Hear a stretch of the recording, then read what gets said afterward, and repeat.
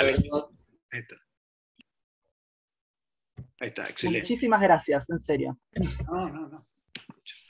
Bueno, genial, gente. La verdad que tenemos un grupo divertido y me encanta que hayan abierto las cámaras, porque yo ya estoy harto de la virtualidad anónima y, y nada, me entusiasma mucho la posibilidad de tener una interacción. Este,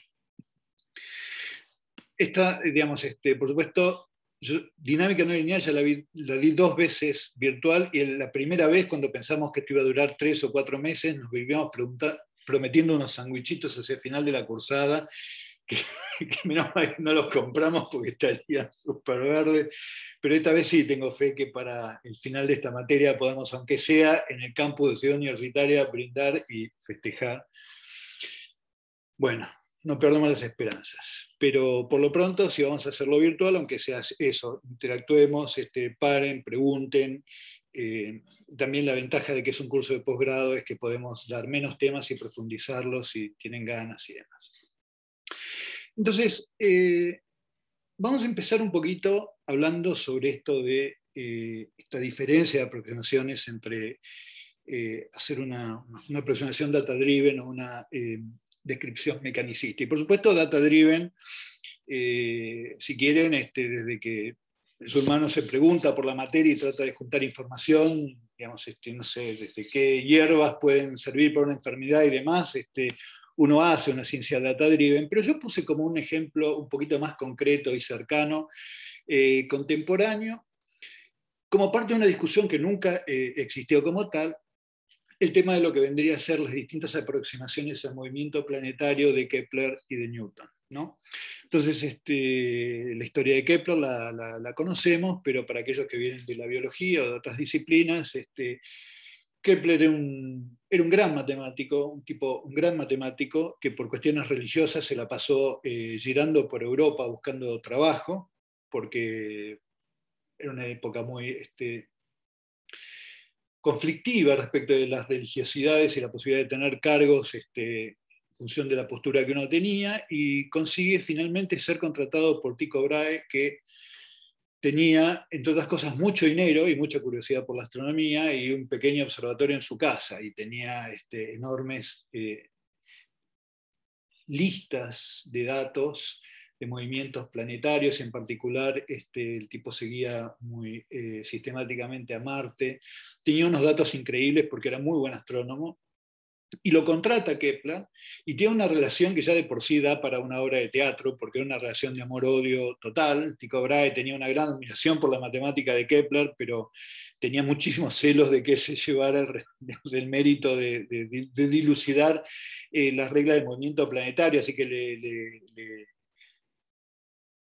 la verdad que le esquivó todo lo que pudo, darle los, datos a su propio empleado y finalmente lo hizo y Kepler, bueno, encontró sus famosas leyes de movimiento planetario. La primera que los movimientos planetarios se escriben a través de elipses. Bueno, la segunda ley de cómo las áreas este, eh, iguales este, se recorren en tiempos iguales y una forma funcional de periodo y el brazo mayor de la elipse. ¿no? Son las tres leyes de, Kepler. Y la verdad es que si uno se pone a pensar que desde que el ser humano se interroga por este, los, movimientos planetarios, poder describirlos en términos geométricos con esta precisión es un, es un avance impresionante. Pero es el típico ejemplo de un conjunto de observaciones que se modelan matemáticamente, que tienen poder predictivo y que están basados en los datos eh, y no se interrogan sobre causas de algún modo. ¿no? La visión de Newton Vamos a repasar un poquitito en dos tiempos lo que fue la visión de Newton. La visión de Newton es una visión un poco distinta. El tipo retoma esta observación galileana de que en principio existe un sistema de coordenadas en el cual, en ausencia de interacción con el universo, un cuerpo mantiene o su, su estado de su, velocidad, medida en términos de eh, coordenadas respecto a estos sistemas eh, fijos eh, respecto de las estrellas fijas o que se mueven a velocidad constante respecto a las estrellas fijas.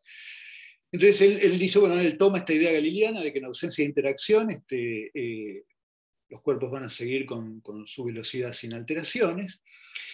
Y después el tipo lo que propone es una cosa súper interesante, que es la siguiente. El apartamiento de ese estado depende de que exista una interacción con el universo, y hay dos factores que hay que tener en cuenta. Uno, una propiedad de la partícula, que es esta masa, y después el tipo propone una cosa que es bastante revolucionaria, que es que se va a poder escribir una forma funcional que dé cuenta de cuál es esa interacción con el universo. Y lo más grosso de todo es que el tipo dice, yo apuesto a que gran parte del mundo natural se puede describir en términos de estas formas funcionales que dependen solamente o de la posición, o sea, la configuración del sistema, o la configuración del sistema y su velocidad. Pero variables que uno mide en el mismo instante en el cual está calculando el apartamiento de velocidad eh, constante. Es decir, yo a esta forma funcional, él lo que propone es que en principio la voy a poder escribir, esta forma funcional la voy a poder escribir como una función de las variables de configuración y las velocidades en ese instante. Y con esto, el tipo encima, como no tenía otra cosa mejor que hacer, ante la pregunta de Halley respecto de si podía compatibilizar su, modo, su modo de aproximarse a la, descripción de la naturaleza eh, con las observaciones de Kepler, el tipo dice, sí, si yo pongo una ley inversa de 1 sobre R al cuadrado, yo puedo describir la dinámica este, kepleriana. Y el tipo se empieza a divertir, eh, bueno, resolviendo en principio el problema de Kepler, y después está resolviendo el problema a sus archienemigos como Hooke, planteando formas funcionales ya fenomenológicas, no fundamentales, sino fenomenológicas, como la del resorte. Ahora, lo que tiene súper interesante la aproximación newtoniana, y lo que desde el punto de vista cultural es un, shock, es lo siguiente. El tipo lo que dicen, fíjense, el tipo lo que está planteando es esto. Y esto le vuela a la cabeza a la gente que lo entiende en su momento, entre otros a Laplace. Fíjense que el tipo lo que dice es, yo voy a tener este, mi posición, voy a tener mi velocidad, y en principio lo que el tipo dice, yo dilucidé cuál es la forma funcional que me permite para cualquier configuración que yo tenga calcular cuál es esa aceleración. Entonces, yo voy a medir inicialmente un x de 0 y un b de 0, y el tipo lo que dice es, claro, como yo conozco cuál es la posición y la velocidad, la nueva posición la tengo, porque la velocidad la tenía, pero, y acá viene lo interesante, como yo calculo cuál es la aceleración en todo punto, en este punto yo también calculo la aceleración, por lo tanto, en este nuevo punto no solamente voy a tener la nueva posición, sino también la nueva velocidad. Y de ahora, como yo ya tengo la posición nueva y la velocidad nueva, voy a poder calcular una nueva posición y de vuelta, como en este punto yo también conozco la aceleración, en este punto también tengo la velocidad y por lo tanto puedo volver a iterar esto y por lo tanto solamente habiendo medido una cantidad de información finita, que es la posición y la velocidad inicial, tengo el futuro de un sistema para siempre. Acá cometí un error muy importante. Vamos a, vamos a hacer una trayectoria que no se autointersecte. Pero esto le voló la cabeza a quienes lo entendieron, entre ellos a Laplace, porque dijo, este es el sistema del mundo, así nomás, dijo. Esto, cambia la manera en la que conseguimos la naturaleza, porque ahora no es cuestión de coleccionar leyes que funcionen como la de Kepler, sino que ahora es cuestión de dilucidar cuál es la forma funcional que describe cuál es el apartamiento de los valores constantes de las variables de un problema. Entonces, si yo hago eso, un conjunto de experimentos, y saco la fórmula menos k por x o menos 1 sobre r al cuadrado, después integro y tengo que medir una cantidad de información finita y tengo el futuro ya aclarado para siempre. Entonces, este, para, para Laplace y para muchos otros, en ese momento es el comienzo y el final de la ciencia. Ya ahora viene un trabajo, si quieren, más eh, ingenieril, donde lo que vamos a tener que hacer es calcular estas leyes y resolver eh, las ecuaciones, pero que el gran misterio del mundo quedaba dilucidado. O sea, ese nivel fue la explosión conceptual que fueron las leyes de Newton. Desde el punto de vista de eh, la formulación matemática, si quieren, esta idea newtoniana de que los campos vectores que describen cuál es la tasa de variación de las variables, dependen de las variables en ese punto, definen, junto con las condiciones iniciales, un sistema dinámico. Y bajo ciertas condiciones de suavidad, para el campo vector y las derivadas, los jacobianos del campo vector, entonces la solución de este problema es única. Es decir, yo tengo un X que pertenece a Rn y tengo una medición de X0 perteneciente a Rn. Si este campo vector es suave, entonces la solución es única. El conjunto de variables en términos de los cuales yo tengo una prescripción única para la, evolución del sistema, ese conjunto de variables se conocen como el espacio de fases. Entonces, en un espacio de fases yo no tengo autointersecciones, cada punto tiene un único futuro. Muy bien. ¿Qué es lo que no describe Newton? Y esto es una cosa súper interesante. En principio no describe PDEs, ecuaciones diferenciales agregadas parciales. Si yo tengo un problema turbulento, en principio yo no lo voy a describir en términos de un sistema dinámico, salvo que sí lo vamos a hacer, en el sentido de que un sistema puede ser altamente disipativo y colapsar su dinámica de los infinitos modos posibles a un conjunto de modos o de estructuras que interactúan entre sí y vienen descritas por variables que son sus amplitudes que, eh, a través de sistemas dinámicos. Es decir, en principio una PDE, una ecuación diferenciada de derivadas parciales, las ecuaciones Navier-Stokes, en principio contienen infinitos grados de libertad. Ahora, cuando ustedes ven un, huracán y se está acercando a la costa de, New Orleans y te dicen, pasado mañana vas a llegar, va a llegar esto y vas a tener viento de 120 km por hora y demás. Esto es porque realmente hay un colapso de estructuras coherentes y lo vamos a estudiar, vamos a mirarlo en el curso, cómo, cómo se hace eso. Vamos a ver cómo proyectamos a través de datos en un conjunto de estructuras coherentes y sacamos sus ecuaciones diferenciales. Entonces es posible que un, sistema extendido se describa en términos de un sistema dinámico, pero en principio tiene lugar como para, digamos, este, tener más modos que un conjunto finito de modos. Y otra cosa que no describe una, dinámica tipo newtoniana es esto que para... Yo siempre... Yo, suelo decirme a mí mismo, y no lo digo más que eh, entre amigos o con todas las habilidades del caso o por ahí en un Twitter provocador, la biología es introducir delays. Es decir, las ecuaciones de Newton no valen si yo lo que tengo son delays. Es decir, si la tasa de variación de una variable depende no solamente del estado del sistema o de su derivada, sino de un, instante previo, entonces fíjense que esta maquinaria newtoniana ya no vale, porque, a ver, yo tengo una condición inicial en x0. Si tengo un retraso espantoso acá en, la escritura de esta. Entonces, supongamos que yo quiero calcular x en delta t y yo medí en x0. Entonces digo, bueno, el nuevo, el nuevo punto va a ser x0 más el x punto por delta t, pero fíjense que para calcular el x punto yo necesito no solamente calcular cuánto vale el x en este instante, sino el x de menos tau, ¿no es cierto? Entonces yo necesito no solamente x0, sino x0 en menos tau. Bien. Ahora, cuando yo quiero evaluar cuánto vale x en 2 delta t, en 2 delta t, yo lo que voy a tener que tener es el x en delta t más el x punto en delta t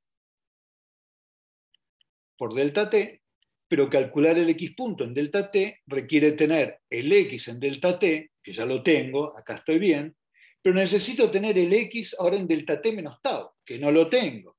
Entonces, para evolucionar cada pasito, ya no me basta tener una cantidad finita de información en un instante dado, sino que tengo que tener todo un recorrido de lo que le pasa a la historia del problema entre menos tau y el tiempo t. Desde ese punto de vista, se dice que un sistema con delay es infinito dimensional y a diferencia de lo que ocurre con las leyes de Newton, ni bien yo ponga esto acá, me salgo del paradigma newtoniano tan bello de decir, si yo mido ahora un conjunto finito de variables, tengo el futuro para siempre. Ni bien yo tengo delays, tengo que tener una historia en todo un segmento temporal y el esquema newtoniano se me va al diablo. Esto, por supuesto, es súper interesante en la fenomenología de la biología, ocurre todo el tiempo, la biología es la evolución de variables que dependen de su historia. Y bueno, sé que hay un montón de problemas. El otro día nos contaba un compañero del laboratorio Marcos un problema muy lindo, en donde uno eh, escribe una, dinámica para el uso de palabras y dice, bueno, yo uso la palabra, un, conjunto de palabras con una tendencia cognitiva, que es a usar mucho las palabras que se usan mucho, que sería este término, pero desprecio las palabras que estuvieron de moda en el pasado. Son un quemo, usar palabras del pasado es un quemo. Si yo digo que entonces la tasa de empleo de una palabra depende de cómo se está usando ahora pero le evito a las palabras que se usaron en el pasado, pasan historias súper lindas y bueno, él está mirando en Google el uso de ciertos conceptos en función del tiempo y la aparición de escalas temporales de oscilación de por qué hay palabras que se ponen de moda, se van de moda, etc. Bueno, fenomenología utilizando time delays existe infinita. Eh, sistemas físicos en donde en vez de plantear la ecuación diferencial con condiciones de contorno se aproxima con delay, Existen infinitos casos, como los laceristas conocen. Y mismo, cuando uno quiere decir, che, ¿puedo usar las leyes de Newton en un problema electromagnético? Bueno, guarda, sí, en un rango de aproximaciones, porque si vos te pones a pensar que la interacción entre dos partículas depende de dónde estaba la partícula en un tiempo que es el tiempo que le llevó a la interacción electromagnética para viajar de este punto hasta acá, te encontrás con que de hecho es una ecuación con delay, no es un sistema newtoniano, cosa que bien sabemos porque tuvimos que, cuando quisimos describir los problemas de interacción electromagnética, abandonar el, paradigma newtoniano. ¿no? el paradigma newtoniano es muy bello, es una gran aproximación, muy consistente, de hecho la acción y reacción valen si no hay separación temporal en la interacción, pero no describen todas las ciencias naturales, obviamente. Pero en este curso vamos a suponer que podemos describir a nuestros problemas en términos de sistemas dinámicos. Simplemente quería hacer la acotación de qué problemas no vienen descritos por sistemas dinámicos. Muy bien. Entonces, hasta, hasta acá, vamos bien. Bien, perfecto. Entonces, de vuelta, la idea esta es, eh, como decíamos, la historia de la descripción newtoniana es plantear que para este estado de velocidad de un cuerpo, que va a ser constante si no hay interacción en el universo, yo planteo que la interacción viene descrita por alguna forma funcional que yo propongo programáticamente, depende de x y de x punto, y él postula que existe una cantidad, que es la masa de un cuerpo, que dice, bueno, si yo ya dilucidé cuál es la interacción respecto de una partícula de valor unitario, hay un número que me dice cómo va a ser el impacto en mi dinámica de esa interacción, que es la masa. Y a partir de ahí uno puede reescribir a este sistema como un sistema dinámico, como decíamos recién, de x a dt va a ser EI, y de i a dt va a ser este campo vector, y yo tengo un sistema dinámico que para cada condición inicial me da una evolución temporal. Muy bien. ¿Qué es que un sistema sea lineal en ese paradigma de sistemas dinámicos? Bueno, supongamos que yo tengo una ecuación diferencial que escribo como un sistema dinámico. La derivada de x respecto de t es la velocidad y la, derivada de la velocidad respecto de t como 1 sobre m por eh, lo que paso acá a la derecha. Si esto, si lo que está a la derecha, el campo vector, si lo que está a la derecha de mi sistema de ecuaciones diferenciales, esto que está acá, es un campo vector lineal, decimos que la ecuación diferencial es lineal. Si yo tengo acá una función f1 de x y de b, que es simplemente la función b, y tengo un f2 de x y de b, que es una función lineal, menos beta por b menos k por x, como f1 y f2 son dos funciones lineales de x y de b, decimos que el campo vector es lineal. Por supuesto, si yo tomo un péndulo físico y hago exactamente lo mismo, describo la derivada de tita respecto de t como un omega y la derivada de omega respecto de t con lo que obtengo de eh, este, este, este, término, que es la proyección de la fuerza en la dirección este, em, angular, lo que obtengo es que ahora el campo vector es una función no lineal, ¿no? porque yo tengo que el f1 sí es omega, hasta acá vamos bien, pero el f2 es una función no lineal de tita, que es menos el seno de tita. Y como esta es una función no lineal, decimos que el campo vector es no lineal. Entonces, cuando hablamos de sistemas dinámicos no, no lineales, hablamos de la biología de los no patos, es decir, la física de casi cualquier sistema, porque en principio es muy raro que nosotros podamos aproximar a un sistema o modelarlo en términos de un campo vector lineal. Por más que le damos tanto, tanta pila a eso en los primeros años de la carrera. Entonces, acá les pongo un, caso y que es pertinente para, para, para lo que vamos a ver en el curso, de lo que yo llamo una descripción newtoniana de la neurociencia. ¿Qué llama una mirada newtoniana de la neurociencia? una mirada en donde el conjunto de variables que describen el comportamiento de una neurona esté escrito como un sistema dinámico. Entonces, son diez guitas aparte si esto es una buena física o no, esto es lo que le, valió el Nobel a Harkin y a Huxley, es el voltaje, la diferencia de potencial entre el interior y el exterior de una neurona y su evolución temporal, mejor dicho, la tasa a la que varía ese voltaje, depende de que estén prendidos o no unos canales que permiten intercambio iónico y la dinámica de esos canales viene dada por formas funcionales que estos dos tipos de formación cuantitativa modelaron. Entonces, esto es un conjunto de ecuaciones diferenciales ordinarias. Teóricamente, si yo puedo ver cómo están prendidos o apagados los canales en un momento y cuál es el voltaje, yo puedo describir como un sistema dinámico de solución única cuál es la evolución temporal de esta. Y por supuesto, si esto involucra interacciones con delays despreciables, tener una maquinaria que nos dice que midiendo suficiente cantidad de información, tengo, digamos, este, puedo predecir en qué voy a estar pensando pasado mañana. Ridículo como suena. ¿No es cierto? Bueno, súper rápido para no eh, aburrirlos, pero para ser precisos en el lenguaje cuál es la cuando hablo de dimensión de un problema de qué estoy hablando, bueno, entonces quiero hacer la salvedad siguiente. Si yo tengo un problema dado, voy a separar lo que es la dimensión de la configuración de la dimensión del espacio de fases. Cuando yo hable de la dimensionalidad de un problema en este curso, va a ser la dimensionalidad del espacio de fases. Entonces, este es un caso típico. Yo tengo una masita eh, sujeta a un resorte la configuración del sistema lo describo en términos de X, cuánto estoy apartado, en un problema unidimensional, pero la dinámica del problema, si lo escribo como un sistema dinámico, ese sistema dinámico es bidimensional. ¿no?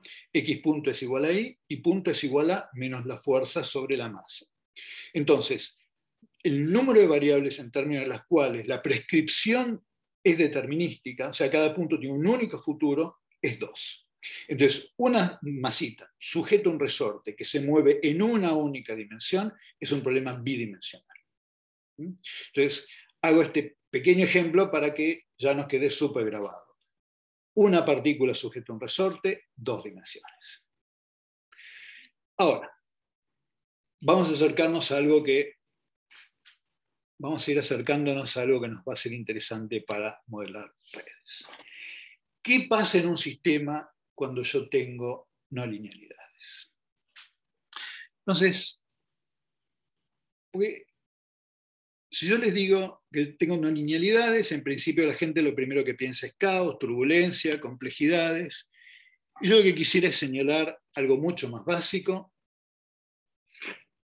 Si yo tengo no linealidades, la primera cosa significativa que ocurre es mucho más sencilla. Entonces vamos a ver este sistemita que es un sistemita unidimensional, tengo una única variable, ¿eh? una única variable. Yo no sé por qué tengo el, tanta, tanta lentitud de respuesta del lapicito este. Y bueno, si tuviera solamente este término, el término A por X, esto sería un crecimiento exponencial, pero tengo un término de saturación que va como menos X sobre N. Mi espacio de fases es unidimensional, tengo una única variable en términos en las cuales prescribir una regla determinística.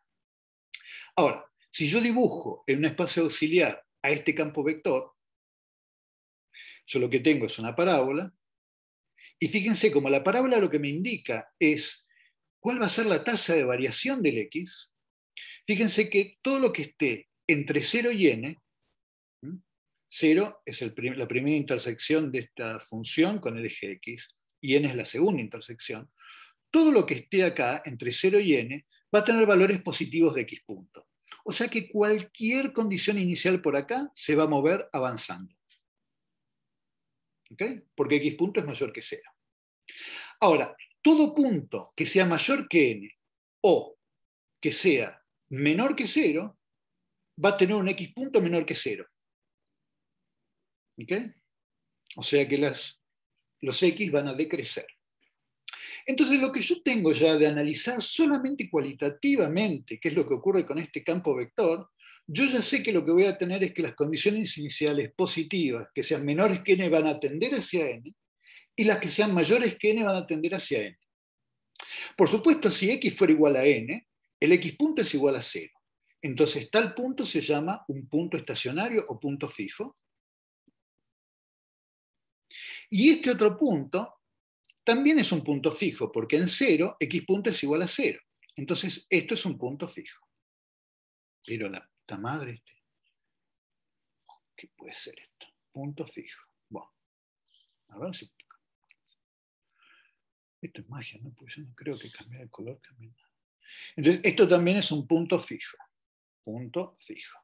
Sin embargo, hay diferencia grande entre este punto fijo y este, porque fíjense que en este punto fijo, cualquier perturbación me lo vuelve a traer al valor de n, mientras que en este punto, cualquier perturbación del punto fijo me lo aleja del cero. Entonces, a este punto fijo lo conozco, lo, lo voy a llamar un punto fijo estable, y este punto fijo un punto fijo inestable. Sin embargo, lo que tiene de interesante es que para que puedan haber existido dos puntos fijos aislados, yo necesité que esto fuera no lineal. Fíjense que este mismo problema planteado solamente con el término lineal, si yo hubiera tenido la derivada de x respecto de t igual a a por x, el mismo análisis me hubiera dado que si el a es positivo, esto hubiera sido una recta por acá, si a es negativo me hubiera dado pendiente negativa, y el único punto estacionario hubiera sido el cero salvo que A fuera igual a cero, en cuyo caso todo el subespacio hubiera sido cero. Entonces, un sistema lineal tiene o un único punto fijo aislado o un subespacio degenerado de puntos fijos.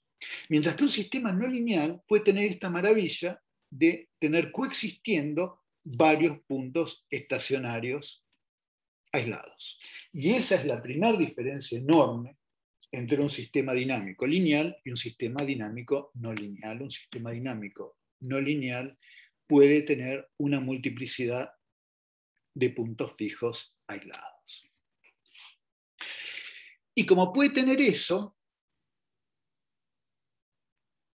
puede pasar una cosa recontra interesante, que es que el número de puntos estacionarios puede cambiar cuando yo cambio los parámetros. Por ejemplo, en este problema, la derivada de x respecto de t es r más x al cuadrado. Yo ahora dibujo este campo vector y no voy a tener puntos estacionarios porque esta curva nunca cruza el cero.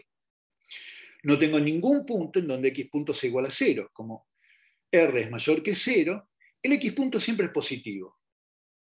Así que fíjense, yo tengo una condición inicial acá, la derivada es positiva. Cuando pasa por acá también es positiva, será más lenta, pero es positiva. Y cuando pasó por acá, irá rapidísimo. Ahora, si el R es igual a cero, hay un punto donde el sistema, si lo dejo ahí, se queda. Es un punto estacionario. Y para cualquier valor de R menor que cero, como yo tengo estos, estas dos intersecciones, y las derivadas van a ser menores que cero en este intervalo y mayores que cero en este intervalo, lo que tengo es que apareció un par de puntos estacionarios. Ese cambio cualitativo en las soluciones de un problema se conoce como bifurcación. La bifurcación es la existencia de cambios cualitativos de la dinámica cuando yo cambio los parámetros. Muy bien. Voy a parar un cachito para ver si quieren preguntar, protestar, si estoy yendo muy rápido, si estoy yendo muy lento, si tienen preguntas. Vamos a parar un poquito la moto y cuéntenme mientras me tomo un mate cómo vamos. Por ahora viene clarísimo, Gabriel. Buenísimo. bien. Bueno, excelente. Excelente. Creo que había una pregunta en el chat, pero de algo de antes que habías dicho, me parece. Dale, a ver qué. Yo, había hecho una pregunta, pero mm, no da, me parece. O sea, está bien. Eh, creo que un poco también la contestaste con lo que, con lo que venía, porque no entendía muy bien la definición de, de la dimensionalidad del espacio de fases. Y, mm, y ahora creo que quedó más definida. Ah, bueno, buenísimo. Como el, el mínimo número de, variables que necesitas para describir determinísticamente el sistema. Exactamente. Exactamente. Exactamente. Exactamente. Esa es mi definición. De una. Buenísimo. Si para que acá estoy que me pasó una cosa, también me pasan cosas raras con Zoom. Acá abrí el chat y no lo puedo cerrar. Acá. Buenísimo. Eh, párenme sin problema porque por ahí no, leo el chat. Este... Una cosa, Gabriel. Sí. Me cambiaste el color, quizás cambiarlo a otro que no sea amarillo, porque se ve medio. como que se, lee poco. Excelente. ¿Puede ser?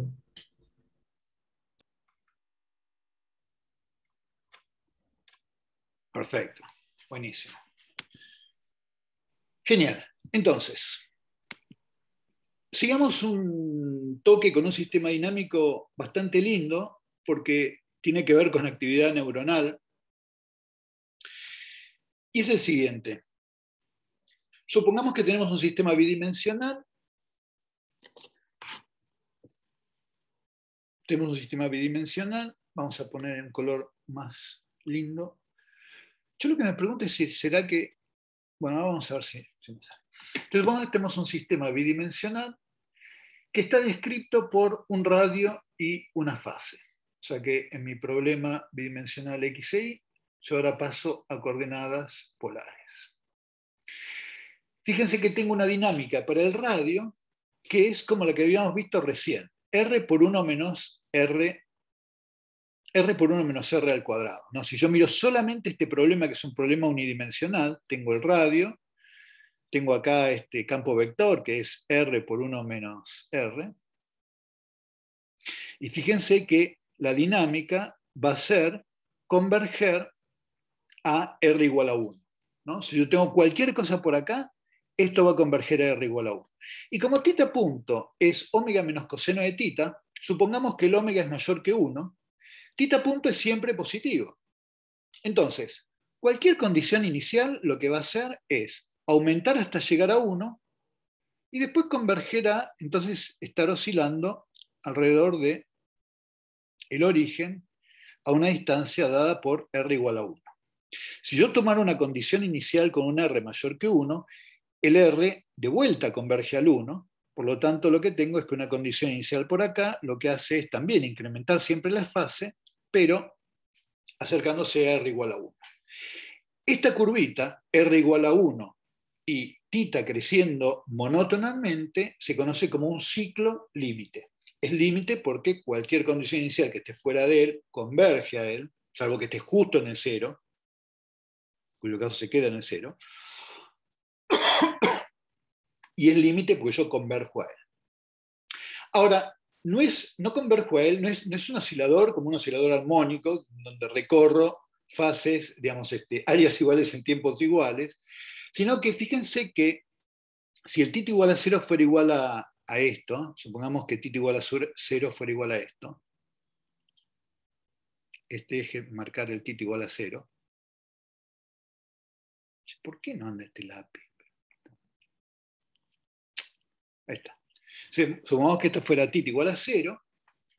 Fíjense que yo lo que tengo es que si omega es mayor que 1, cuando esté por acá voy a ir muy rápido, y cuando esté por acá voy a ir lentito, porque en esta zona la diferencia entre omega y el coseno de tita es más pequeña, porque el coseno de tita es más cercano a 1. Entonces, en esta zona vengo lento, en esta zona vengo rápido. Y pasa una cosa re interesante si el omega es menor que 1. Porque si el omega es menor que 1, fíjense que ahora yo me pregunto si es posible que esto sea igual a 0. Bueno, esto va a ser igual a 0 en la medida en que omega se cruce con el coseno de tita. Entonces, si el omega es menor que 1, puede ocurrir esto, y yo lo que voy a pasar a tener es que en vez de tener un ciclo, lo que voy a tener es un par de puntos fijos acá, y acá voy a tener una dinámica rápida, y acá lo que voy a tener es que el flujo invierte su dirección. Entonces es re interesante porque pasar de este estado a este estado, que es una bifurcación, es una bifurcación como las de antes, pero en la fase. Entonces, acá yo tengo oscilaciones. Voy rápido acá y lento acá, rápido acá y lento acá. Y si el omega pasa a ser un valor menor que 1, el sistema no oscila más. Le pasa una cosa recopada, que es que está en este estado estacionario, muy tranquilo, y si yo lo perturbo un poquito, vuelve a ese estado estacionario. Pero si lo perturbo por encima de un umbral, me pego toda una vuelta y vengo para acá. Es el comportamiento típico de una neurona es un sistema excitable. Es un sistema excitable. Entonces, yo paso de tener una oscilación a un sistema excitable a través del cambio de un parámetro. Y eso es una bifurcación como la anterior, una bifurcación de nodosilla, una bifurcación en donde en esta variable, para omega mayor que 1, no hay puntos fijos, no hay puntos fijos, no hay puntos fijos para la variable tita. Y acá pasó a tener un atractor y un repulsor.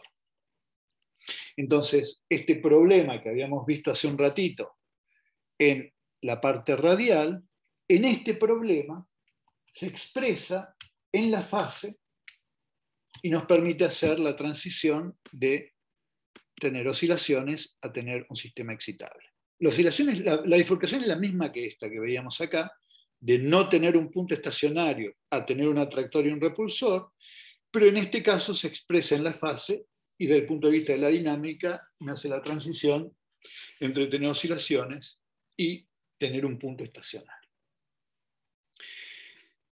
Y si encima, pues acá tenemos una simulación numérica del sistema oscilando, donde fíjense que hasta hay un montón de tiempo cerca de una fase y después tengo un pico muy rápido. O sea que esto describe la dinámica de picos. Una dinámica de picos es una dinámica de este estilo, lenta en una zona del espacio de fases y muy rápida en otra.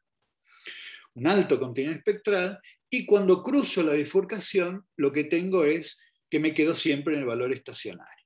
Converjo al valor estacionario. Si por algún motivo cuando yo cambio un parámetro del sistema, esta función omega tuviera una saturación, ahí tengo bien descripta un conjunto muy grande de neuronas, en donde para valores suficientemente pequeños del parámetro tengo valores estacionarios, excitables, y cuando incremento mis parámetros lo que tengo son oscilaciones que empiezan a incrementar su tasa de disparo y eventualmente saturan. Muy bien.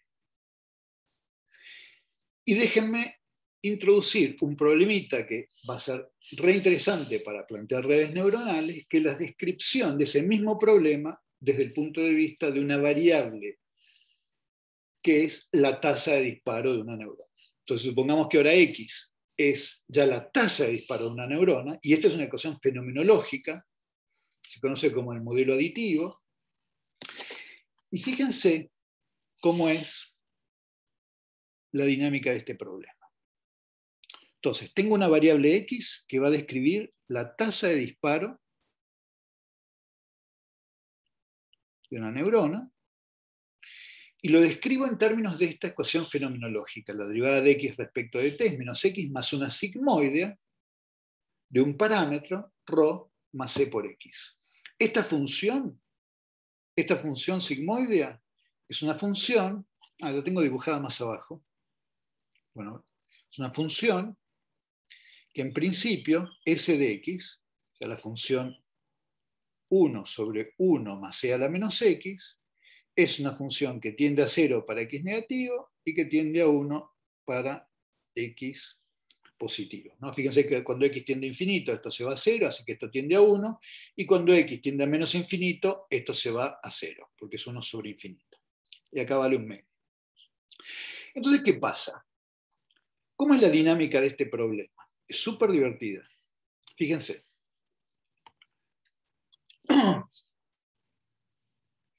Supongamos que tenemos ahora la sigmoidea de Rho más C por X. O sea, en vez de tener la sigmoidea de X, tenemos la sigmoidea de Rho más C por X. Por ahora, olvídense de C. La sigmoidea de Rho más X.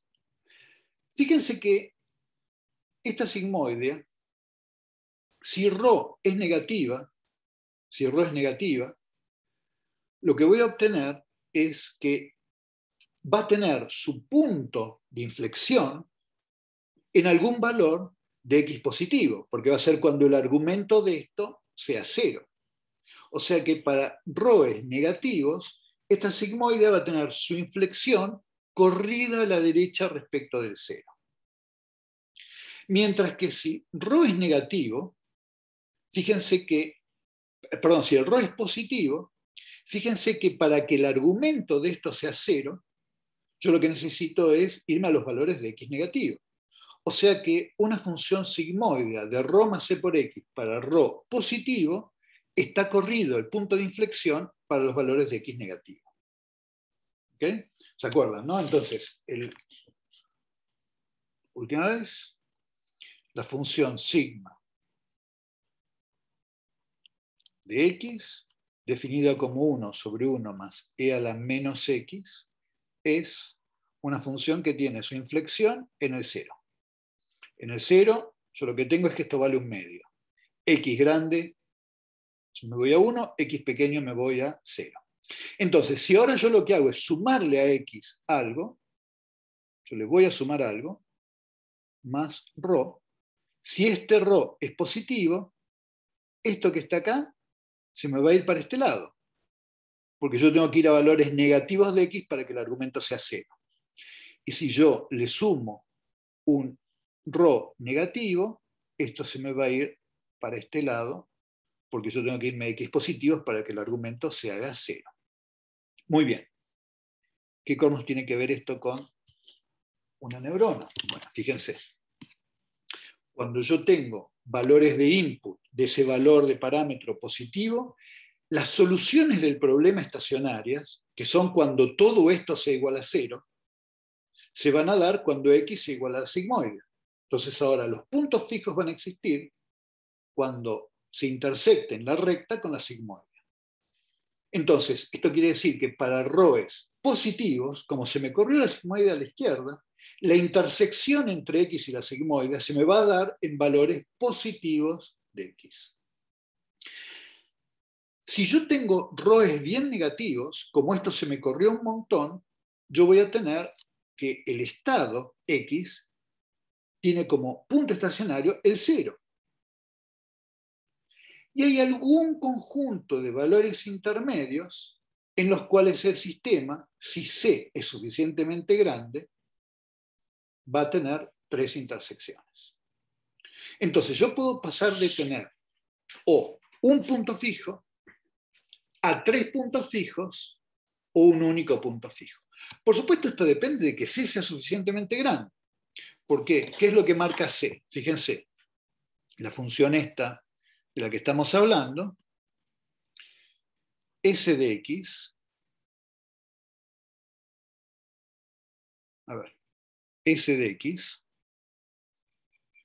es 1 sobre 1 más e a la menos x. ¿no? Entonces yo digo que estoy tomando s de c por x, lo que voy a estar haciendo es tomar 1 sobre 1 más e a la menos c por x. Si c es un número muy grande, esto de converger a 1 o a 0 pasa enseguida ni bien me aparto del 0. o sea que con c grande, esta función es una sigmoide recontraviolenta, como si fuera un escalón. Perdón, un escalón. Esto es lo que pasa para c grande. Mientras que para c chiquito, esta función es recontra suave. Entonces, yo voy a poder tener eventualmente tres puntos fijos si el C es suficientemente grande. Si el C es chiquitito, esto va a ser una función súper suave y a lo sumo lo, que voy a hacer al cambiar ρ es ir de tener un valor positivo a tener un valor negativo en forma súper suave. Pero si C es suficientemente grande, paso de tener un punto fijo a tener eventualmente tres o a tener solamente uno.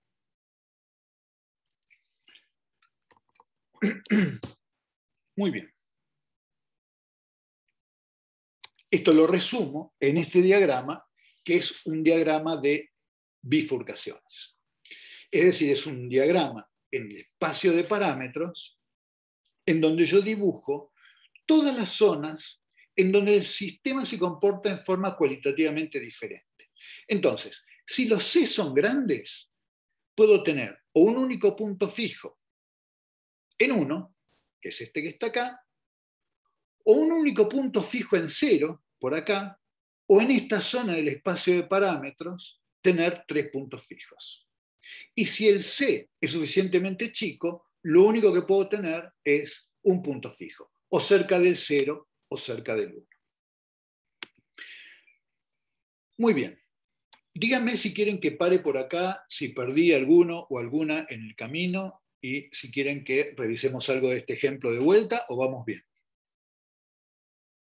Abran el micrófono sin ningún tipo de duda, pudor ni nada,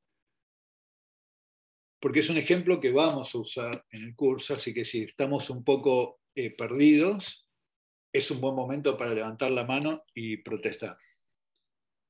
A, mí, yo me perdí en eh, esto del diagrama de bifurcaciones. ¿Cómo, es la idea? Vos dibujás el espacio de fases, o sea, ¿cómo sería la solución en el espacio de fases para cada punto de los hiperparámetros? Perfecto, entonces el asunto es así tal cual. Entonces vos tenés esto, ¿no? Vos analizás, vos tenés un par de parámetros en tu problema. Entonces vos tenés, por ejemplo, el parámetro ρ y el parámetro C. Entonces, yo me pregunto, o sea, la pregunta en general es, ¿en qué zona del espacio de... Bueno, entonces vos analizaste este problema, lo que venimos haciendo nosotros es analizar este problema y decir, bueno, si yo miro el conjunto de puntos fijos, yo lo que tengo es que para un valor dado de C, y al C lo mantengo fijo, tengo un valor dado de C, al C lo mantengo fijo, entonces elijo cruzar las cosas por acá, y me pregunto qué es lo que va a pasar con el sistema si yo voy cambiando el RO. Y después me voy a hacer la pregunta de qué es lo que va a pasar con el sistema si yo hago lo mismo, tengo un C fijo y voy cambiando el parámetro por acá, y después me pregunto qué es lo que va a pasar con el sistema si mantengo el C fijo y vengo cambiando el sistema, cambiando el parámetro por acá. Entonces yo lo que dije fue, bueno, si yo tengo un valor grande de C, vamos a analizar un caso límite yo tengo un valor grande de C. El tema de estudiar qué es lo que le pasa a los puntos fijos del problema es estudiar qué es lo que ocurre con las intersecciones entre la recta X y el sigma de ρ más C por X. ¿Estamos de acuerdo? Y entonces dijimos, bueno, cuando yo tengo un eh, ρ suficientemente negativo, este problema, pucha, este problema se va a describir como las intersecciones entre una curva que está acá y una que está acá, y tengo un único punto fijo, y resulta que a medida que yo vaya incrementando el valor de ρ, va a llegar un momento en donde esta curva le va a pasar esto. Va a hacer esto y acá va a tener una tangencia.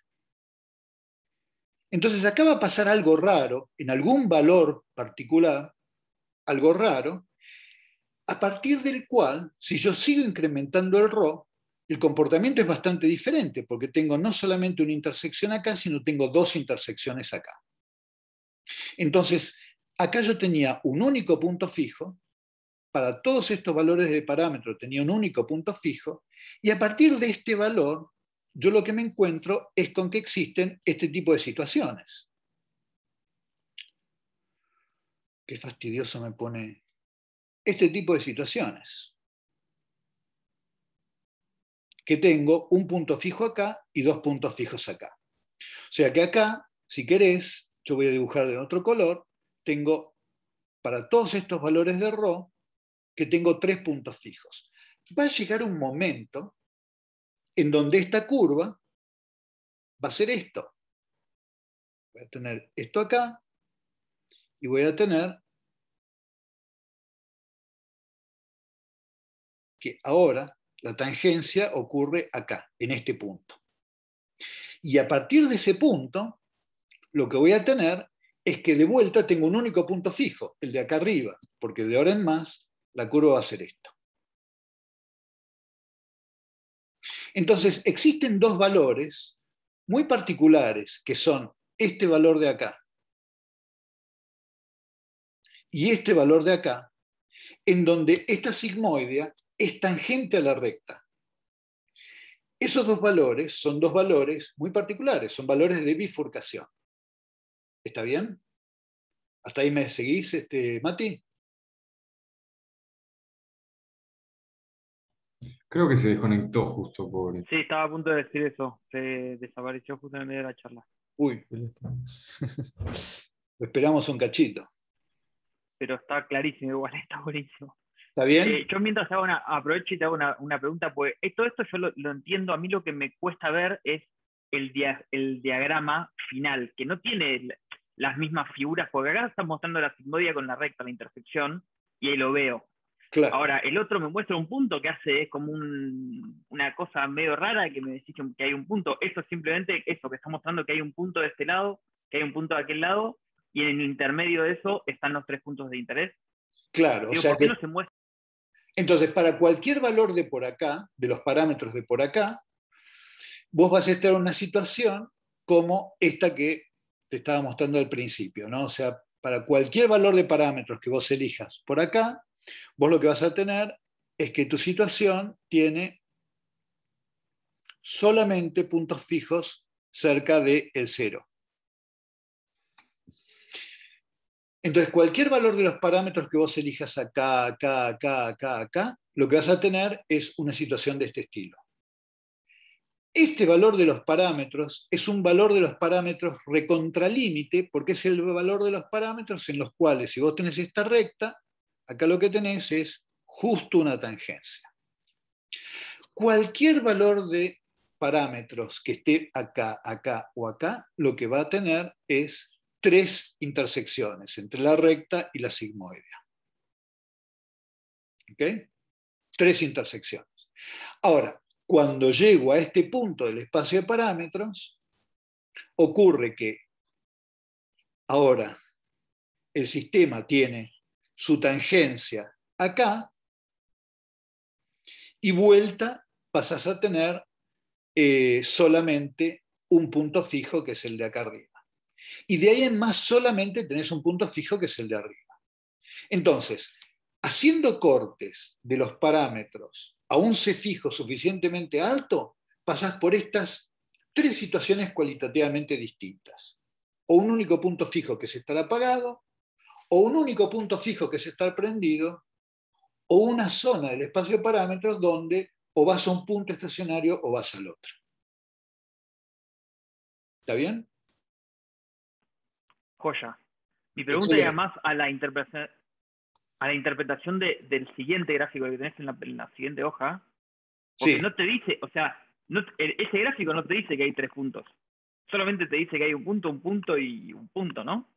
Me refiero a la próxima hoja, el que está graficado en los parámetros C y. Ah, bueno, espera que ahora llego, espera que ahora llego. Entonces, si vos haces el mismo análisis, el mismo análisis, y te lo haces para este valor de acá abajo, puede ser que vos te encuentres con que estos dos puntos ahora están más cerca, o sea, los puntos que hacen de límite entre tener un punto fijo o tener tres, se te acercan. Y si vas acá abajo, se te acercan más aún.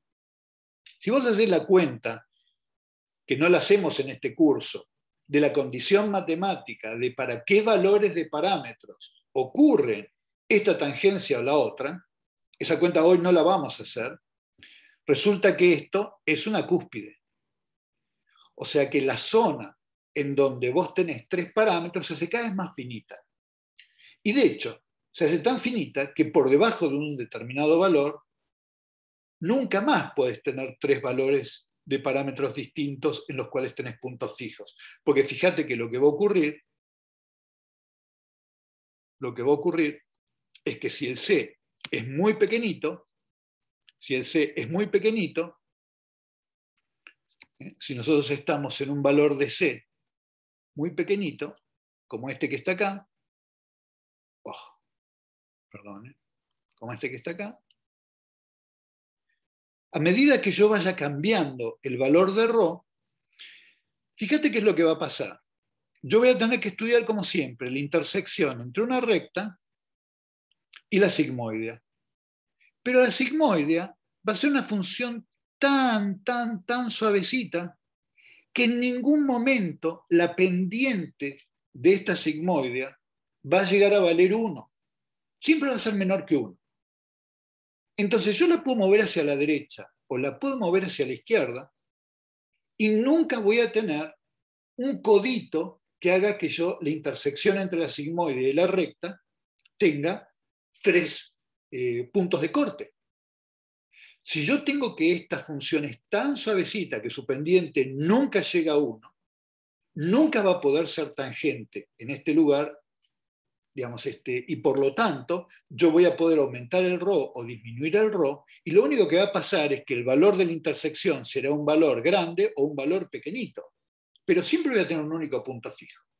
Entonces, yo decido que es interesante separar el espacio de parámetros, y para hacer una red neuronal, vaya que si va a ser interesante, entre C suficientemente grande, donde yo puedo tener o un punto fijo, que es tener la red apagada, el, sistema, la neurona apagada, o la neurona prendida, o tener la coexistencia de neurona prendida o apagada, o elegir tener un valor de C suficientemente pequeñito, como para que siempre yo tenga dado un input, un único output.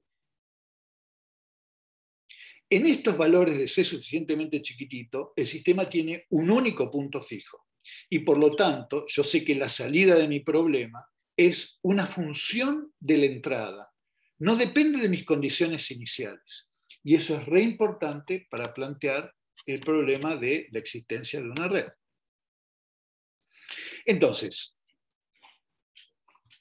si C no es lo suficientemente grande, las soluciones atractoras de este problema constituyen un continuo en función de los parámetros, entre valores que van cercanos a cero y valores que son cercanos a uno. E independientemente de las condiciones iniciales, yo voy a un único punto estacionario.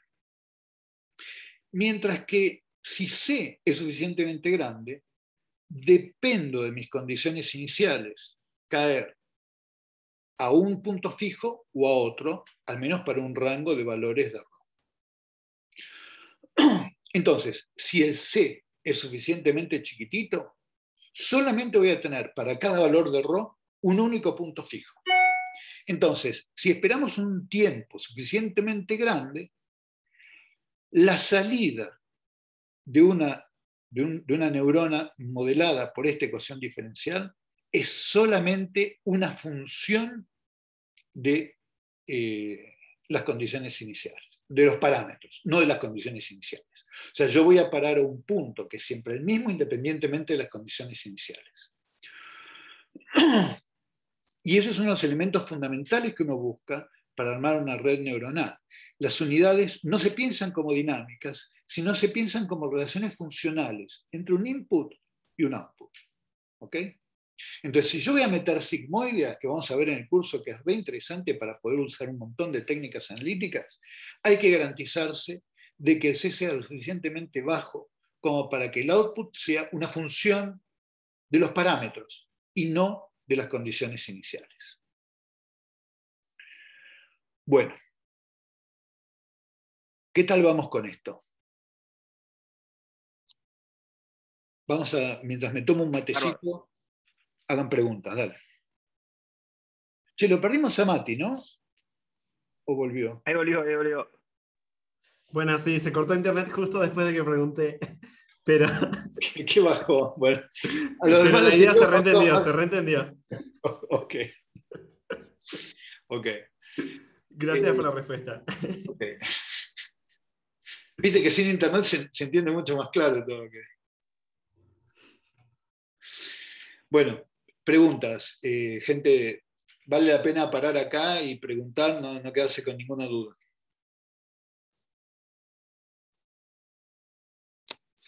Entonces, nada, resumiendo, en este sistemita dinámico, que yo represento a la activación de una unidad que va a representar una neurona a través de una variable que sería su tasa de disparo, la tasa de disparo puede ser cero, o sea, la neurona apagada, o estar disparando un rate dado, pero la gracia de esto es que si el C es suficientemente bajo, independientemente de mis condiciones iniciales, para cada valor de parámetro, la salida estacionaria es una función del parámetro y no de las condiciones iniciales. Y eso es re interesante. O sea, porque fíjense que para cualquier valor de parámetros, si yo eligiera un C suficientemente grande y me voy a un RO que está por acá, fíjense que en términos de mi espacio de fases, si yo ahora dibujo el espacio de fases X, y acá tengo el 0, voy a tener un punto acá, cerca del 0, un punto repulsor acá y un valor cerca del 1 por acá.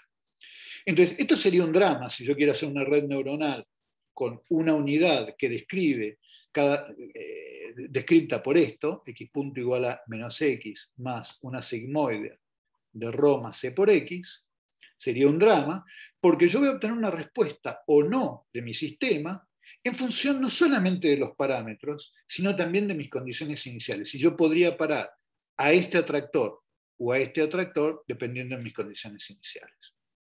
Ahora, si yo estoy por acá abajo, está recopado, porque dependiendo del RO, o me voy a un punto estacionario que está cerca del 0 por acá, o me voy a un punto estacionario que está cerca del 1 por acá. Y eso depende solamente del input. Entonces, mi input, perdón, del, del, sí, del, del parámetro RO, del input que yo le estoy metiendo a la neurona. Entonces, mi salida solamente va a ser una función de mis parámetros y no de las condiciones iniciales. ¿Puedo una pregunta? Sí.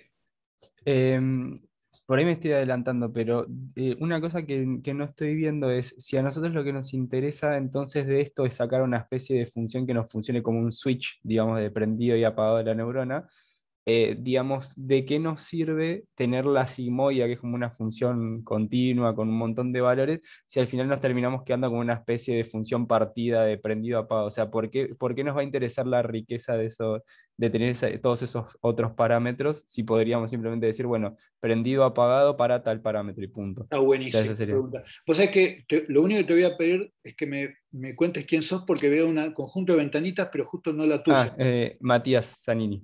Ah, Matías, ok. Está buenísima la pregunta porque está súper buena, porque vamos a ver ahora, una de las... Ok, entonces es por lo siguiente. Uno de los grandes desafíos que, que- que- que- que tuvo el tema de redes neuronales cuando se empezó a concebir es cómo cornos, porque todos más o menos conocemos el final de la historia, ¿no? El final de la historia es vamos a armar un montón de estas unidades acopladas y las vamos a entrenar con ejemplos. Entonces vamos a decirle, por ejemplo, na- nada, yo te voy a mostrar la figura de un gatito y te voy a decir que esto es un gato, otro gatito, esto es un gato, un perrito, esto es un perro, etc. Y el gran desafío fue, ¿y cómo hago para modificar los parámetros como para que cada vez que yo le muestre un perrito me diga que es un perrito? Entonces, ese problema que fue el de cómo entrenarla fue el gran dolor de cabeza cuando se empezó a intentar concebir la estrategia de las redes neuronales. ¿viste? ¿Qué hago? Empiezo a cambiar al azar y bueno, no vas a ningún lado. El gran breakthrough fue decir el sistema de backpropagation que me dice, dado el error que yo tenga en una vuelta que entrené a la red y me anduvo mal, ¿cómo hago para cambiar los parámetros en la dirección posta que hagan que la próxima vez el error sea más chiquitito? Y esas cuentas, si vos podés tener una función súper derivable, divina, como la sigmoidea, son un dulce de leche. Porque vos vas a empezar a derivar esta función y te van a quedar productos de funciones, son unas cosas algebraicas divinas. Entonces, esta función, que tiene esta propiedad rara, que como bien decís vos, lo último que voy a querer es que clasifique bien, o sea, que si va más grande que algo me dé uno y más chico que algo me dé cero, posta. Ponerle sigmoideas paga porque sus derivadas, en vez de diverger, te dan todas funciones analíticas y las cuentas van a ser súper algebraicas. Entonces, yo te voy a pedir que me des un par de días de confianza porque dentro de, no mañana, sino el miércoles, vamos a ver backpropagation y las cuentas de backpropagation y vas a ver que por haber elegido sigmoideas, un montón de cosas se transforman en funciones algebraicas hermosas. Buenísimo. O sea que básicamente lo que tiene que ver es con eso, es como no querer ser tan tajante emprendido de pago, sino bueno, permitirle una especie de libertad de moverte un poquito alrededor de eso para justamente para hacer estas cuentas y todo eso. Sí, vos pagás, exactamente, vos pagás el precio de un rango de parámetros en donde no vas a estar haciendo una clasificación exitosa, pero te recontrapaga por la analiticidad de tus resultados. Exactamente. Gracias. Por supuesto, después vienen un montón de trade-offs en donde por ahí a veces eh, elegís que tus representaciones más piolas sean lineales o relu, en fin. Después hay otros criterios por los cuales elegís otro tipo de funciones saturadoras. Pero vamos a, tratar de bancar a la sigmoide a todo lo que podamos por los beneficios de las cuentas eh, y digamos, este, que nos permiten eh, demostrar las herramientas de, backpropagation y, y, ajustes este, de parámetros. Bien, les voy a hacer un súper paneo ahora de temitas que son interesantes, pero que no van a ser al corazón de lo que vamos a... O sea, que ahora pueden hacer ir a un modo switch, eh, nada. Concentrado más o menos. Lo que vamos a ver ahora es una serie de cosas que son re lindas, re interesantes y que no vamos a profundizar y que no van a ir al corazón de lo que queremos ver. Entonces, vimos un par de bifurcaciones, una bifurcación, la bifurcación de nodo silla, porque era importante para este sistemita dinámico que va a ser el corazón de lo que van a ser nuestras redes, pero el estudio de sistemas de bifurcación es un estudio súper lindo porque cuando uno se pregunta por qué tipo de cambios cualitativos pueden existir en estos sistemas dinámicos, lo interesante es que son clasificables. Entonces, vos por ahí estás estudiando el canto de pájaros, o estás estudiando un láser, o estás estudiando eh, eh, una dinámica de manchas solares, y de repente, o el niño, y de repente estás encontrándote con un tipo de bifurcación. Y decís, ¿por qué encuentro siempre este tipo de bifurcaciones? Bueno, porque no hay tantas tampoco. Entonces, los cambios cualitativos que pueden ocurrir en sistemas no lineales son clasificables y existen ecuaciones paradigmáticas que los representan. Se llaman formas normales. En un curso de dinámica uno aprende cómo llevar un problema arbitrario a su forma normal. Esta es una bifurcación muy linda porque describe las rupturas de simetría. ¿No? Es la bifurcación de Pitford. Si uno tiene un valor de mu menor que cero, tiene un único atractor, y si uno tiene que mu es mayor que cero, este sistema puede tener dos atractores que son simétricos conjugados. Y cada vez que uno tiene un problema donde las soluciones pueden tener menos simetría que la ecuación diferencial, esto se conoce como ruptura espontánea de simetría. Y este tipo de bifurcaciones en física de partículas se han hecho famoso un montón de gente y han hecho ganar varios premios Ustedes tienen un lagrangiano con una determinada simetría, con un grupo de simetría, las bifurcaciones que rompen esa simetría y dan lugar a soluciones son clasificables, este, uno las puede predecir, las subsimetrías que uno obtiene se pueden obtener, se pueden predecir en función de la estructura del grupo, es un montón de, física muy hermosa y de matemática muy hermosa, y la expresión así más sencilla posible es la bifurcación de Pitford, en donde una ecuación diferencial que es simétrica, cambio x por menos x y el f de x cambia por, si cambio x por menos x, f pasa a menos f de menos x. ¿Se entiende? ¿no? Cambio x por menos x y la ecuación queda invariante. Entonces, esto, dependiendo del valor de mu, puede tener un único valor estacionario o puede tener, como en este caso, tres valores estacionarios. Si tengo tres valores estacionarios, el conjunto de puntos fijos tiene la misma simetría que la ecuación diferencial, porque fíjense que por este punto tengo este. Entonces tengo este que no es simétrico, pero tiene un simétrico conjugado. Y este que sí es simétrico. Entonces, yo paso de tener un único punto fijo, cuando mu es menor que cero.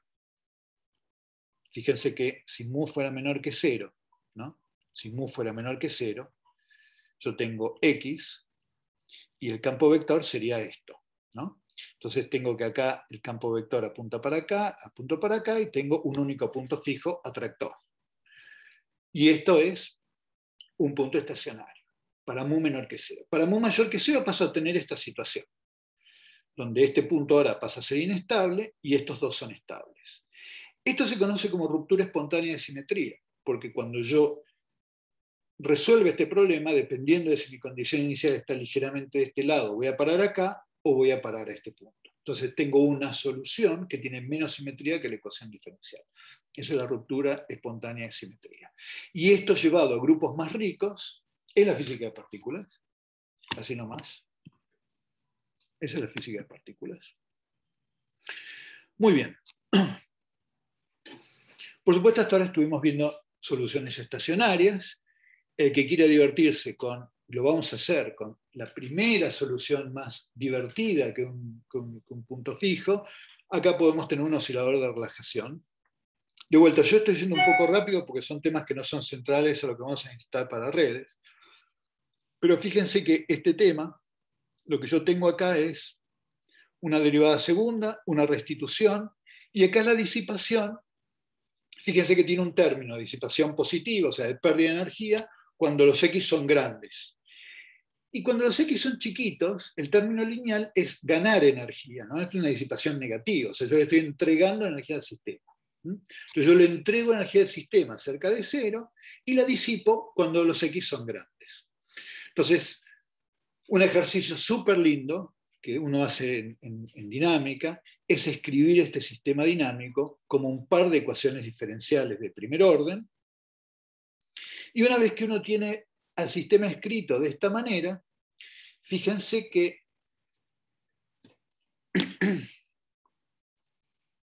yo no los quiero matar, porque me parece que los estoy matando. Sí que los estoy matando, ¿no? Bueno. Seguí, seguí, seguí. Ok, fíjense. Termina la historia al menos. Termina la historia, ahí está claramente, término de historia. Fíjense, yo acá voy a tener un único punto estacionario, ¿no? Si yo me pregunto por dónde es igual a cero el campo vector, o sea que el x punto es igual a cero y el y punto es igual a cero, va a ser para x igual a cero, y si x igual a cero, necesito que y sea igual a cero para que el x punto también sea igual a cero. Entonces, desde el oscilador original hasta este sistema es un poquito un cambio de variables, un poquito de álgebra, no tiene nada del otro mundo. Pero cuando tenemos este campo vector, descubrimos que tenemos un único punto estacionario, que es en cero, pero fíjense qué divertido lo que pasa acá. Supongamos que mu es súper grande. Entonces, yo acá tengo una curva que es i igual a x cubo sobre 3 menos x, que la voy a dibujar acá. Entonces, fíjense que si mu es grande, pasa una cosa muy interesante. Si yo estoy sobre la curva, no pasa nada, el x punto sería igual a cero. Pero si yo no estoy exactamente sobre esa curva, si y está por encima de x cubo sobre 3 menos x, el x punto es enorme. ¿Ok? Y si el y está por debajo de esta curva, ¿ok? lo que tengo es que el x punto es enorme, pero en la otra dirección. Por otro lado, fíjense que y es, el i punto, es positivo, si es negativo si el x es positivo, y es negativo, perdón, y es positivo si el x es negativo. ¿Qué quiere decir? Que los i's aumentan si los x son negativos, fíjense que acá el i está aumentando, y los i's disminuyen si los x son positivos. Entonces la dinámica de esto es bastante interesante. Supongamos que yo empiezo por acá, estoy por arriba de la curva, el X va a los tiros. El X punto es enorme. Entonces, al principio el Y crece, después el Y decrece, pero el X está a los tiros y recién se calma cuando yo llego a cruzar la curva. Porque cuando yo llego a tocar la curva, ahí me quedo musarela, el X no aumenta más porque esto es igual a cero, pero por supuesto, como el X es positivo, el Y todavía disminuye, así que la cruzo a la curva, y acá no me queda otro destino que quedarme pegadito a la curva, porque como estoy por debajo de la curva, yo por estar de por debajo de la curva, ahora el X punto es menor que cero. Pero obviamente yo no puedo cruzar a la curva porque si la toco, el X no cambia más, sigo bajando. Así que no me queda otra que quedarme pegadito a la curva. Una vez que paso por debajo del mínimo, ahora sí me sigo alejando de la curva porque el punto todavía es menor que cero.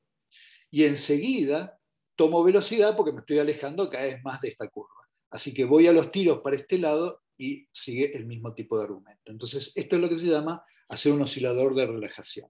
Y yo alterno rápidamente entre zonas donde la dinámica es lenta. Quienes quieran leerlo en detalle, vayan al Broly mío, que está accesible en las páginas, o leanlo de cualquier lado, oscilador de relajación, es una dinámica muy linda, que es la primera dinámica sencilla que uno puede obtener en un sistema bidimensional. Y por supuesto puede escribirlo en términos de... Bueno, esto ya se me escapó. Gabo, eso era lo que Una pregunta, Gabo, eso era lo que llamábamos histéresis, ¿no? Buenísima pregunta. Buenísima pregunta. Entonces, está muy cerca de lo que llamamos histéresis, Javi. ¿Por qué? Porque ¿qué es la histéresis? La histéresis es exactamente esta, mirá. Vos tenés un problema en donde estás mirando, por ejemplo, los valores estacionarios de tu problema y tenés una curva como esta.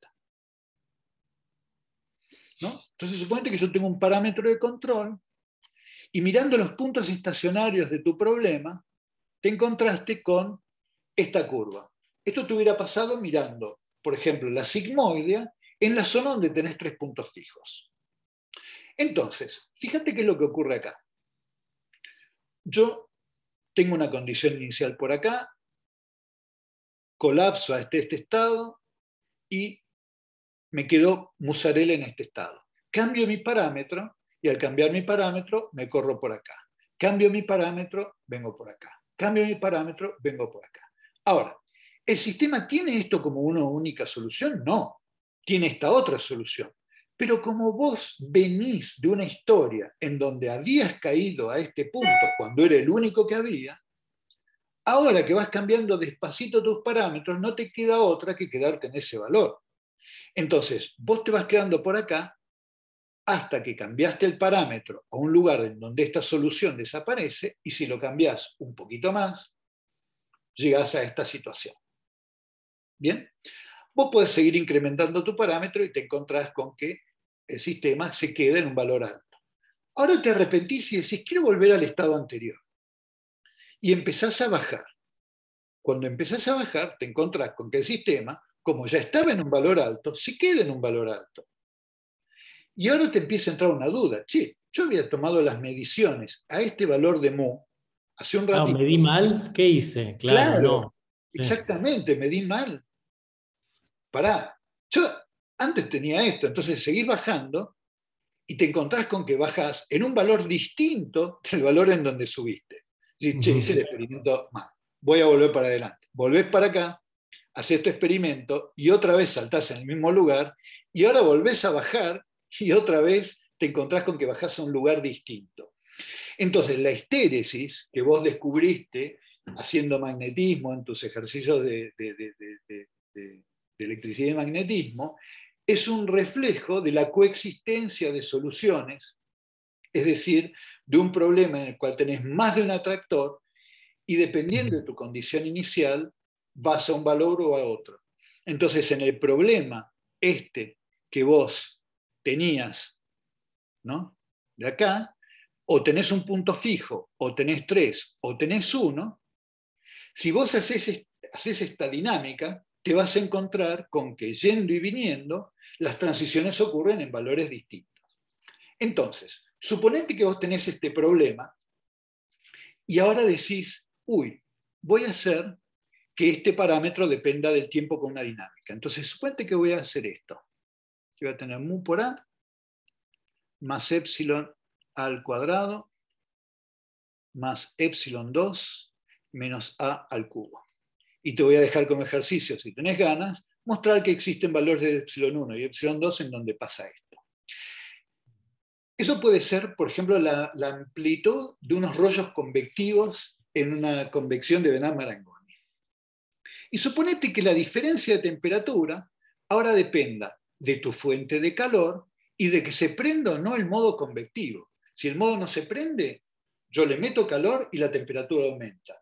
Pero si yo prendí el modo convectivo, entonces mu punto es menor que cero. Por más que yo le meta calor, estoy refrescando y la temperatura baja. Entonces ahora, en un problema en donde había estéresis, esta dinámica lo que hace es que cuando el A es muy chiquitito, el mu punto sea positivo.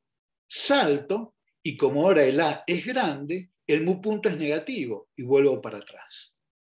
Entonces, la histéresis es la prima hermana del oscilador de relajación. Mm. Vos le metés una dinámica a tus parámetros en un problema con histéresis y tenés un oscilador de relajación. Así que está muy cerquita el problema de tener un oscilador de relajación con tener un problema con histéresis. Y bien le pones una dinámica a los parámetros que dependa de que estás de un lado u otro de la, de la rama de histéresis, la histéresis se convierte en un oscilador de relajación. Genial, gracias, Gabo. Buenísimo. Perdón, Gabo, ¿y en el diagrama de parámetros de ese problema, donde hay histéresis, cómo se dibuja?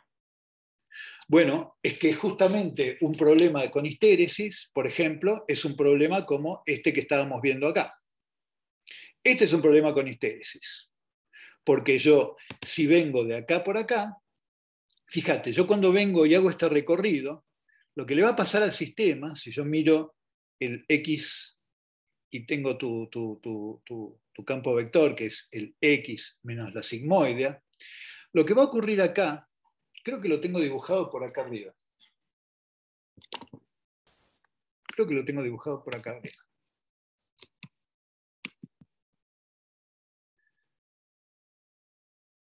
acá. Si vos mirás el campo vector, en esta zona lo que tenés es esta, esta curva que tenés acá, estoy dibujando x menos la sigmoide ahora, ¿no? Entonces yo tengo esta función que está acá y el máximo no llega a tocar el, el eje antes de la bifurcación. En la bifurcación lo tocas. Pero si tu condición inicial estaba acá inicialmente, que vos generes un par de puntos estacionarios, importa un rábano, porque vos no estás explorando esa zona del espacio de fases. Vos te quedás en este punto estacionario, aunque exista otro valor posible, salvo que le metas ruido al sistema. ¿Cuándo tenés que irte sí o sí de este punto? Cuando llegás acá y ese punto desaparece. Y entonces no te queda otra que ir a este punto. Entonces, yo salto a este nuevo punto acá porque no me queda otra. El que yo estaba, en el que yo estaba, desaparece. Ahora, si vuelvo para atrás, pasa exactamente lo mismo. Genero estos dos nuevos puntos fijos, pero yo estoy en este acá lo más pancho. No voy a desaparecer hasta que vuelva acá. Entonces, esta cuenca que aparece en una cúspide es la descripción en espacio de parámetros de la histéresis. Impecable. Perfecto. Buenísimo. Todo este detour fue porque vamos a utilizar un poquito la sigmoidea por acá abajo. Así que hemos hecho un recorrido a un montón de cosas, campos vectores, este, bifurcaciones, espacio de fases, para quedarnos por acá, en donde la dinámica es recontrapavota, es ir a un punto fijo independientemente de cualquier otra cosa, y el único posible. Genial, gente. Vamos a una cosa. Déjenme tomarme 5 o 10 minutos, me voy a arreglar el mate, y si les parece, les cuento un poquitito cómo es la práctica. Mientras tanto, lo que estaría buenísimo es eso. Si quieren autoorganizarse en tres grupitos, de cinco cada uno, eh, va a estar bárbaro porque entonces podemos hacer este, unos breakout rooms, que Mati me va a ayudar, cómo se hacen. Y, la idea es que ustedes, yo les voy a pasar un, un notebook de Colab y ustedes lo van a ir leyendo entre los, entre los cinco. Eh, el de hoy es recontra fácil, probablemente ustedes se maten de la risa, es súper básico de Python, pero para quienes no estén familiarizados con Python, es como una guía recontra clara de cómo se usa Python. O sea, es recontra sencillo. Entonces, déjenme 10 minutos que me arreglo el mate, qué sé yo, y nos encontramos y les cuento un poquito cómo organizamos la práctica. ¿Les parece? Dale. Dale, nos vemos en 10.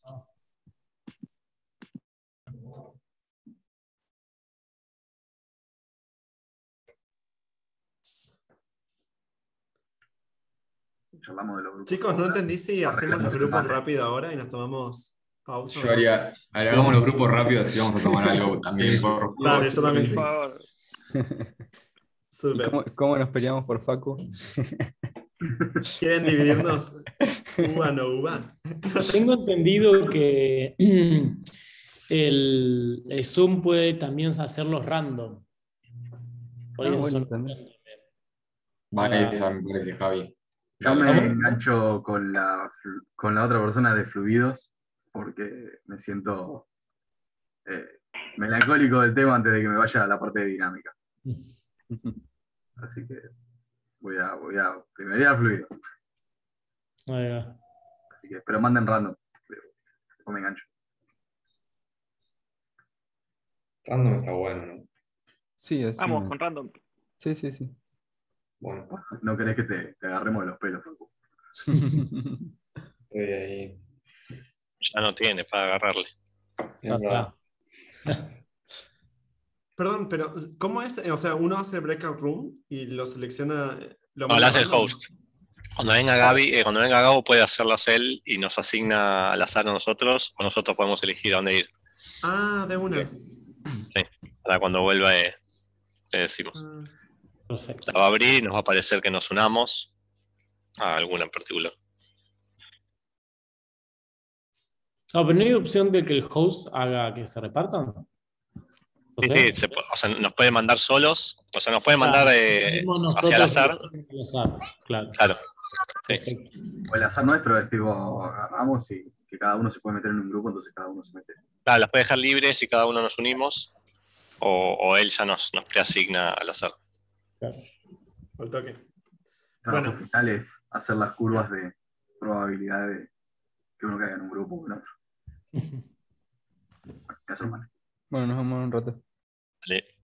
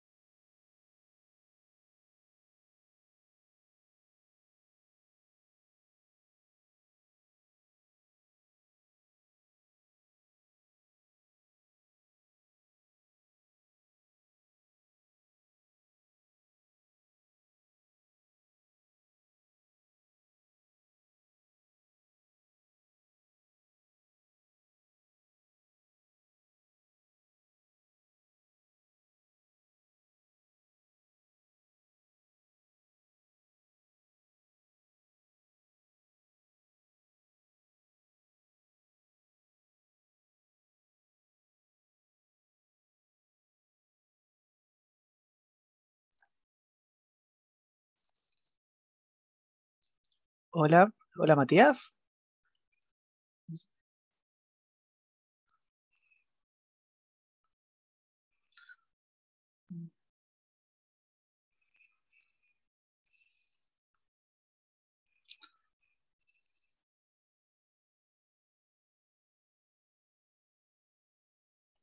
¿Qué decís, Leandro? No sé si estaba, estamos justo en, en pausa.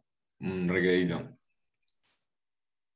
Hola, ¿Cómo va? volví recién, así que, ¿qué tal? Eh, estamos en una sala, ¿no? Estamos, ¿nos separaron? Sí, no sé si se escuché, recién te decía que mm, eh, estamos justo en pausa. Ahora va a arrancar la práctica y nos vamos a separar en grupos, en breakout rooms. Ah, listo, Eh, perfecto. Sí, sí, estamos así que justo en, en pausa. En cinco minutos seguro aparece Gabo de nuevo y nos organiza. Vale, muchas gracias.